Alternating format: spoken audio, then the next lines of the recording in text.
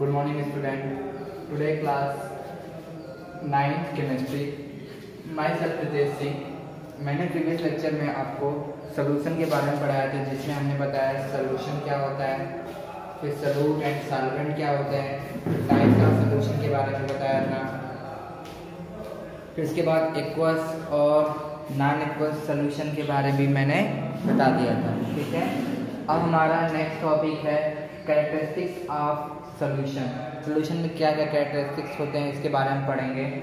जैसे मैंने पीछे बताया था कि सोल्यूशन दो चीज़ से बना होता है। एक होता है सलूट एक होता है सॉल्वेंट इन दोनों का मिक्सचर जब होता है तो क्या बनता है? सोल्यूशन और इन दोनों का जो मिक्सचर होता है, वो क्या होता है? होमोजीनियस होमोजीनियस होता है। होमोजीनियस मिक्सचर में मिक्सचर में आते हैं। ठीक है? सोल्यूशन क्या होता है? होमोजीनियस होमोजीनियस के बारे में मैंने बताया था कि होमोजीनियस क्या होता है? जिनका, जिनमें सलूट कम्प्लीटली डिजॉल्व हो जाए और उनका जो कंपोजिशन हो, वो हर डायरेक्शन से सेम हो थ्रू आउट इट्स मार्क्स हर डायरेक्शन से एक ही जैसा दिखे। ठीक है? जैसे पानी में चीनी मिला दें, पानी में नमक मिला दें, ये सब क्या होता है? होमोजीनियस होते हैं या ये सब सोल्यूशन होते हैं। ठीक है? सोल्यूशन में ज़रूरी है कि सोल्यूशन तभी कहेंगे जब उसमें कम से कम दो सबस्टेंस हो, उसमें दो सबस्टेंस हो जिसमें एक सबस्टेंस सलूट का काम करेगा और एक सबस्टेंस सॉल्वेंट का काम करेगा। तो उसे ही हम सोल्यूशन कहेंगे। अब प्योर वाटर है तो उसे हम सोल्यूशन नहीं कहेंगे, ठीक है? ठीक है, इसमें क्या क्या कैरेक्टरिस्टिक्स होते हैं इसके बारे में हम जानते हैं। पहला क्या होता है? Homogeneous mixture of solute and solvent इनका मिक्सचर क्या होता है? होमोजीनियस होता है। किसका मिक्सचर? सलूट और सॉल्वेंट का। The composition and property are same जो कंपोजिशन होता है एंड प्रॉपर्टी होती है same throughout its marks मतलब जितना इधर किसी भी डायरेक्शन देखें, कहीं से भी देखें तो क्या दिखेगा? सेम जैसे हम ये पानी लें वाटर है वाटर अगर इसमें हम कुछ अमाउंट ऑफ़ शुगर मिला दें तो जब शुगर कम्प्लीटली मिक्स हो जाएगा ना तो हम इस डायरेक्शन से देखें या इस डायरेक्शन देखें या इस डायरेक्शन से देखें। कहीं से भी देखेंगे तो हमें क्या दिखेगा? सेम कंपोजिशन दिखेगा। सेम विजिबिलिटी दिखेगी, ठीक है? अगला। Solute particle size can not be seen by naked eye जब हम पानी में शुगर मिला देते हैं तो क्या हम शुगर को देख पाते हैं नेकेड आई से? नहीं दिखता। हमें तो थोड़ा कलर चेंज दिखता है बट कंप्लीट कोई कलर चेंज नहीं होता है। थोड़ा सा लाइट चेंज होता है। लेकिन क्या हम सलोट पार्टिकल देख पाते हैं? नहीं देख पाते। हैं तो जो सलोट पार्टिकल होते हैं, इसमें ten power minus seven metre से भी स्मॉलर होते हैं। इनसे भी छोटे साइज़ में इनके सलूट पार्टिकल पाए जाते हैं। या कह सकते हैं सॉरी सेंटीमीटर या ऐसे कहेंगे ten to power nine metre से भी छोटे। ठीक है नैनोमीटर में होते हैं, एक नैनोमीटर के साइज़ के। ठीक है? अगला।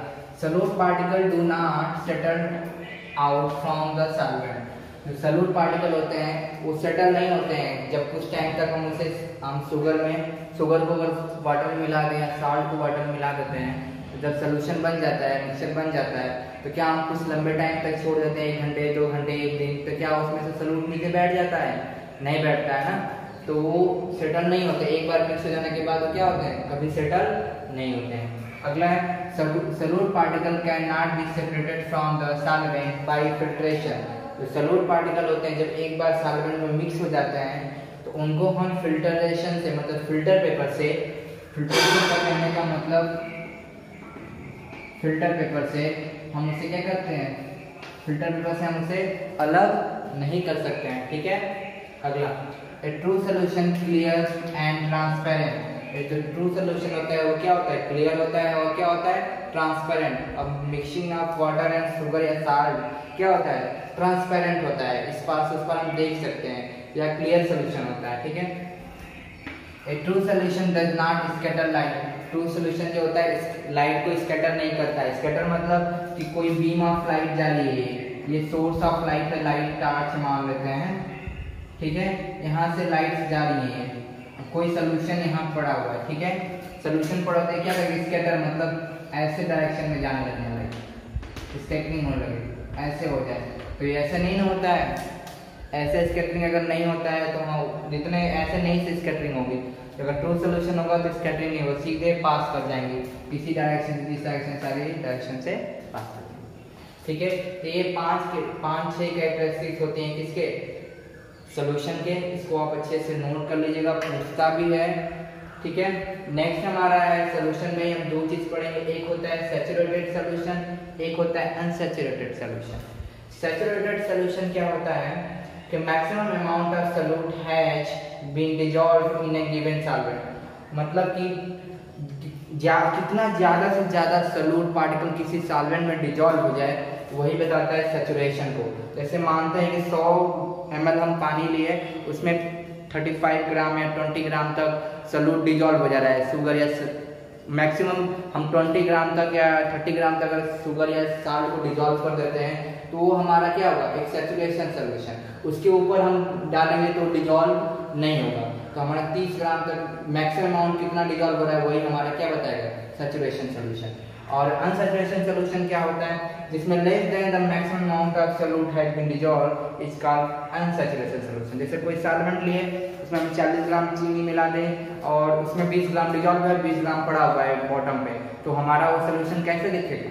अनसेचुरेशन तो सेचुरेशन और अनसेचुरेशन में इतना ही अंतर कह सकते हैं कि सैचुरेशन मतलब complete dissolvement dissolve of solute particle in solvent और where is unsaturation solution is incomplete dissolve of solute in solvent ठीक है?